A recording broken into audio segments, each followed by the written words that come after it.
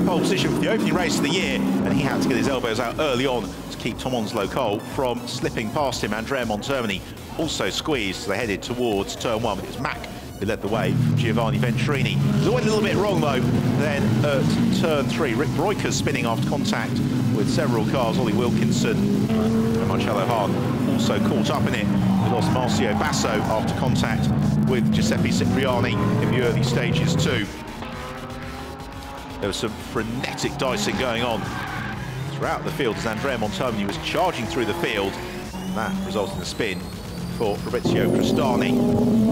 Crestani, though, well in the mix doing battle with Raffaele Giammaria. That also ended in tears. This time it was Giammaria who rotated through the gravel trap.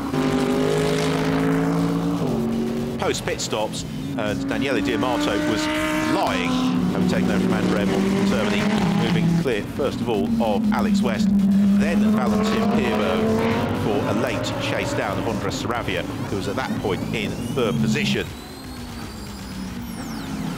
While Damiano Fioravanti also pushing very hard, he made contact with West. This was the move, though, that put Daniele Di Amato into third position overall. At the front of the field, Alessandro Pier Guidi and Mikkel Mac dominating the race for Luzich Racing. On the team's debut.